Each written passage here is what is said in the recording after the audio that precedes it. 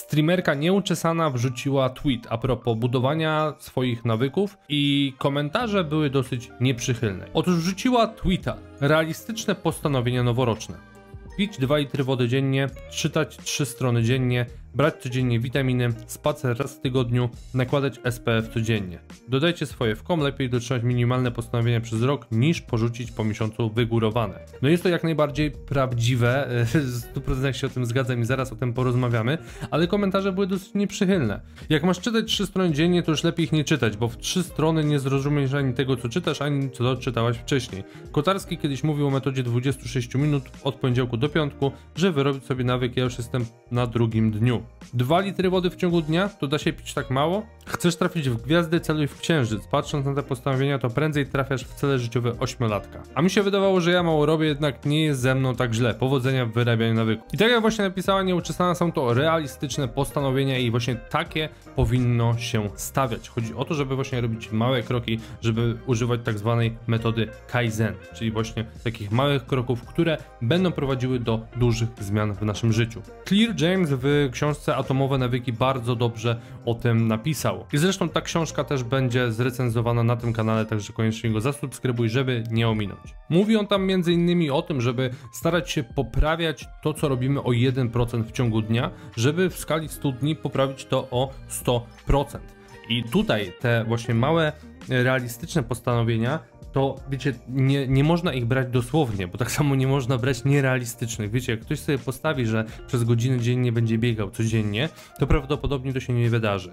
A jeżeli ktoś sobie postawi cel, że ma 3 minuty biegać dziennie, codziennie, to bardzo często może być tak, że ta osoba po tych 3 minutach wcale nie skończy, tylko będzie to robić dalej, bo dlaczego miałaby kończyć? Wiecie, jakby to nie chodzi o to, żeby zrobić te minimum i przerwać, tylko chodzi o to, żeby, żeby zrobić to minimum, żeby właśnie budować pewien nawyk. I tutaj właśnie chociażby z tym czytaniem trzech stron dziennie. Oczywiście może być tak, że przecież się wkręci w czytanie i jakiegoś dnia przeczyta 15 stron, może 20 stron, a może nawet skończy na tych trzech stronach.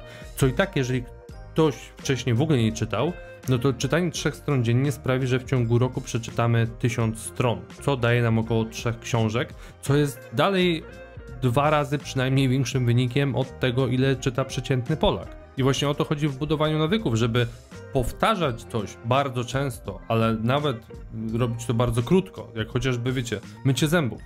Większość z nas ma taki nawyk, że powiedzmy myjemy zęby rano i wieczorem i przez to, że trwa to powiedzmy około 2-3 minut, to nie jest to dla nas problemem, żeby to robić. Gdyby mycie zębów zajmowało pół godziny i jakby taki nawyk każdy miałby wyrabiać, to podejrzewam, że większość z nas tych zębów by po prostu nie myła. Ale że nie ma takiej potrzeby akurat, no to mamy to szczęście, że je myjemy. Poza tym nawet załóżmy, że przez ten rok zrobiłaby tylko tyle, ile właśnie napisała, to nie jest powiedziane, że w kolejnym roku te postanowienia nie wzrosną. Czyli wiecie, z trzech stron zrobi się na przykład 6, 8, może 10 stron, potem w kolejnym roku coraz więcej i więcej. I tu również chodzi o to, żeby małymi krokami robić progres, a nie żeby rzucić się od razu na głęboką wodę i starać się to utrzymać. Dlatego, że w większości przypadków, no jak pokazują postanowienia, większość ludzi po prostu rezygnuje z tego, co miała zrobić. Już nawet nie ominę fakt, o którym mówiłem w ostatnim odcinku, o tym, że ktoś sobie w ogóle źle stawia jakiekolwiek cele, e, że one są nierealistyczne, nie są skonkretyzowane, nie mają żadnego terminu, nie są w żaden sposób policzalne, e, tylko generalnie są to takie powiedzmy rzucone, wiecie, na wiatr słowa, które no nie mają żadnego pokrycia z rzeczywistością.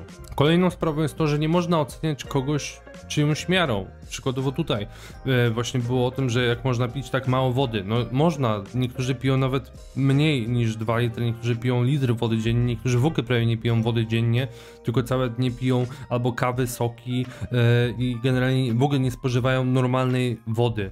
E, I dla takiej osoby wypicie 2 litrów to jest nie lada wyczyn. I nie można tego oceniać przez pryzmat kogoś, kto robi coś inaczej, bo u tej osoby z kolei mogą być braki w czymś innym i tak dalej. Także jeżeli ktoś ma jakieś postanowienia, to nie starajmy się tej osoby krytykować albo nie wiem, e, starać się napisać coś nieprzyjemnego, tak żebyśmy my poczuli się lepiej, tylko najpierw sprawdźmy, czy my w ogóle swoje postanowienia realizujemy, bo mówię, no większość ludzi ich nie, nie realizuje w ogóle. W kolejnym filmie omówię właśnie książkę Atomowe nawyki Jamesa Cleara, e, dokładnie co możemy się dowiedzieć z tej książki, czy ją polecam, e, właśnie jakie lekcje nam daje James i tak dalej, także koniecznie zasubskrybuj, zostaw łapkę w górę, zostaw komentarz, napisz jakie ty masz postanowienia na ten rok i widzimy się w kolejnym odcinku.